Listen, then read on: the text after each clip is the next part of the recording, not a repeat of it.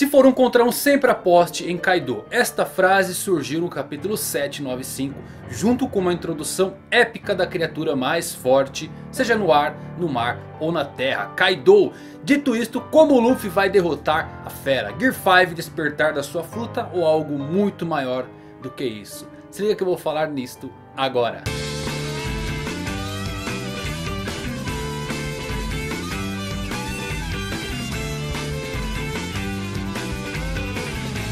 Fala galera, Evandro Fusari com mais um vídeo pra vocês. Como vocês estamos amigos? Eu espero todos muito bem. Desejo pra todos uma ótima semana.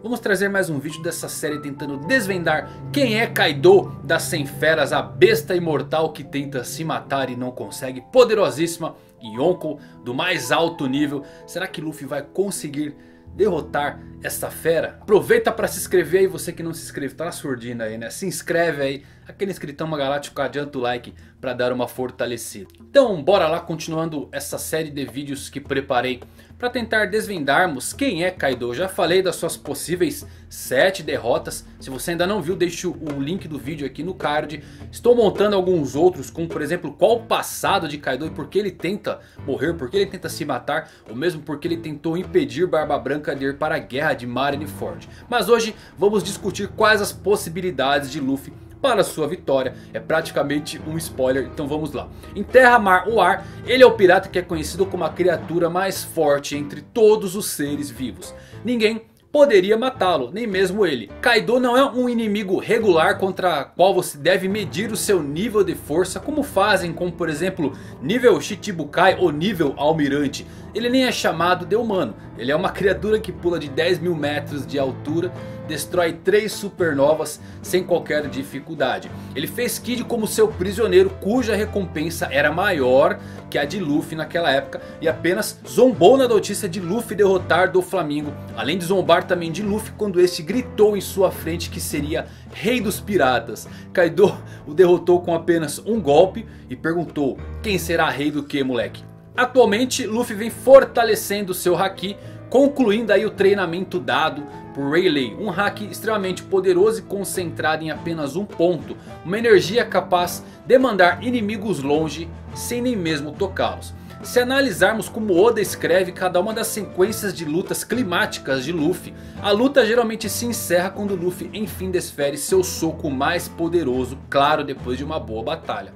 Desde Arlong até Katakuri os desfechos são sempre os mesmos. Mas aí brilha a genialidade de Oda como cada clímax é construído. Contra o próprio Arlong, por exemplo, sua derrota veio após Arlong Park desabar totalmente em cima dele, libertando Nami das amarras de seu passado doloroso e encerrando o arco de forma brilhante. Mesmo que a luta dure vários capítulos, o desfecho é sempre aquele belo socão que apaga de vez o antagonista. Acontece que Luffy já desferiu um dos seus socos mais fortes em Kaido. E isso só curou ele da sua bebedeira. O que soa até engraçado. Mas então como derrotar Kaido? Sabemos que ele já teve derrotas. Ele é forte mas não invencível. O mais legal disso tudo é que nem o Oda sabe como fazer isso. Perto do final da saga de Dressrosa ele deu uma entrevista onde disse o seguinte. Abre aspas. Quando Kaido apareceu pela primeira vez... Eu quis deixar claro que Luffy ainda não poderia derrotar um personagem tão forte. E ainda estou para saber como Luffy derrotaria Kaido. Provavelmente minha audiência não ficará satisfeita se a razão para derrotar Kaido for apenas porque o soco de Luffy é tão forte para isso. Luffy e eu temos que encontrar uma solução de alguma forma Fecha aspas. Mas não se confundam com essa frase de Oda. Para mim, aqui quando ele disse que ainda não sabia como Luffy derrotaria Kaido. Ele não quis dizer em termos de força, mas em termos de narrativa. Para mim o soco final de Luffy vai sim acontecer. Aquele que vai acabar com tudo. Mas deve rolar algo antes disso. Gear 5, despertar. Eu ficaria com um hack masterizado e uma nova variação do Snake Man. Despertar é possível visto que quem fez a ligação desse fato foi do Flamingo, uma das pessoas que temia Kaido. Gear 5 eu deixaria para as duas últimas sagas de One Piece. A Grande Guerra e quem? Barba Negra, né? Também temos lá em Thriller Bark quando Luffy foi capaz de parar o ataque de Oz com apenas uma mão devido a mil sombras que estavam nele. Também sabemos aí que a história de um passado entre Gekko Moria e Kaido. E Moria já apareceu recentemente em uma visita para a Barba Negra. Então estas são as grandes apostas. Mas tem uma outra que eu acredito que seja praticamente um spoiler de como vai se encerrar essa batalha.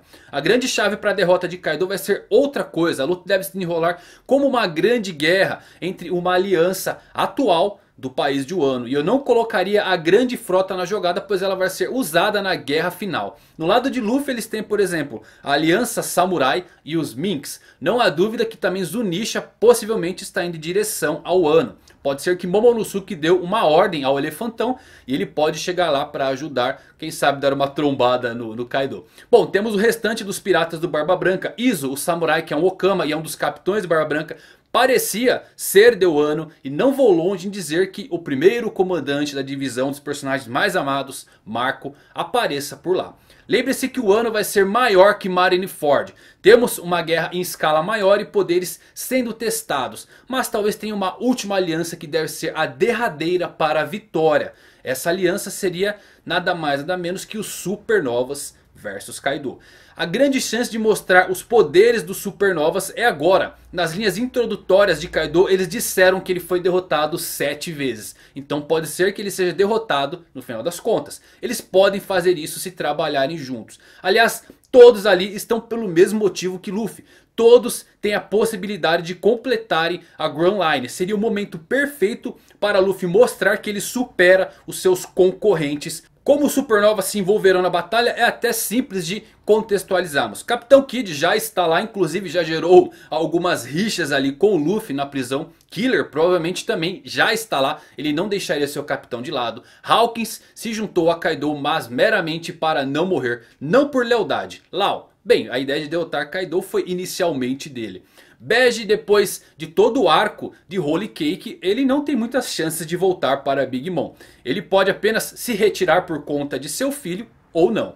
Drake e Apu ocorre a mesma coisa que Hawkins. Com certeza na primeira oportunidade eles trairiam Kaido. O Rogue, o monge doido, ele viu Kaido pulando da Ilha do Céu até ofereceu orações por ele. Então ele foi mostrado ali justamente para significar alguma coisa. A chance de que isso fosse talvez um prenúncio de que ele estaria presente. Mas e quanto a Bonnie? Bom, parece que o futuro de Bonnie é em alguma ligação possivelmente com os revolucionários. Visto que o resgate de Kuma e sua ligação com ele aconteceram na Reverie. Então sabemos que lâminas e balas não funcionam em Kaido. Oda está tentando encontrar uma maneira de derrotar a fera sem ser apenas com um soco ou como outras batalhas. Sua derrota não será sobre poder e sim sobre poderes. Talvez os supernovas possam mexer alguma coisa naquela pele dura. Deixando para Luffy sim o soco final. Imagine que cena Kaido no chão e todos os supernovas em sua volta. Luffy olhando para ele furioso e reafirmando eu serei o rei dos piratas. Então essas podem ser as possibilidades da derrota de Kaido por conta de Luffy. O socão vai estar lá? Vai estar sim. Luffy vai ficar mais forte? Vai. Pode ser que ele masterize seu Haki chegando próximo ali talvez de Silver's Relay. Quem sabe ele consiga. Acho que ainda não supera porque ele é jovem. Kaido é muito experiente, sabe lutar e tem uma pele extremamente dura. Os outros supernovas têm um poder interessante. O próprio Kid poderia manipular todo o material das pedras do mar e usar para bater em Kaido. Imagine o socão que ele poderia dar com a sua fruta. Ainda não vimos a extensão dos poderes. Apenas lá em Shabold que foi um relance do que cada um poderia fazer. E agora seria o momento ideal de ver todos os supernovas liberando seu poder total. E uma guerra que seria maior que a própria Marineford. Não podemos descartar também Nightmare Luffy, né? Quem sabe Mori acaba indo para lá. Acredito que o Mori apareça, até por conta de sua história com o Kaido, o seu ódio que ele tem por Kaido, certamente ele vai desembarcar em algum momento lá em Wano. Talvez ele faça ali uma breve aliança com Luffy, transformando ele em Nightmare novamente para conseguir parar aí a força de Kaido. Falei que seria um spoiler né. Então, como você acha que Luffy vai derrotar? Como você acha que vai desenrolar? Você acha que a Grande Frota vai agora, neste momento, para o ano? Eu acho que não. Eu acho que fica para os últimos arcos. Inclusive, o Gear 5 também deve ser a habilidade final de Luffy. O despertar pode rolar agora, mas eu também deixaria para um próximo arco. Luffy se reafirmaria como o Yonko derrotando a besta, a criatura mais poderosa. Seria perfeito para ele poder encontrar Shanks como um igual. A promessa que ele havia feito foi isso. Ele encontraria Shanks como um igual seu espelho. Que melhor momento do que derrotando Kaido. Então é isso galera, espero que vocês tenham gostado desse vídeo. Se você gostou, manda o um like, compartilha esse vídeo aí, chama os amigos para o canal. Deixe nos comentários o que você achou, como o Luffy vai derrotar, vai haver essa união entre os supernovas. Mas é isso, espero que vocês tenham gostado. Fiquem ligados nos próximos vídeos, principalmente sobre o passado de Kaido. Vamos tentar desvendar esse passado trágico. Mas por enquanto, valeu por assistirem. Até os próximos vídeos e fui.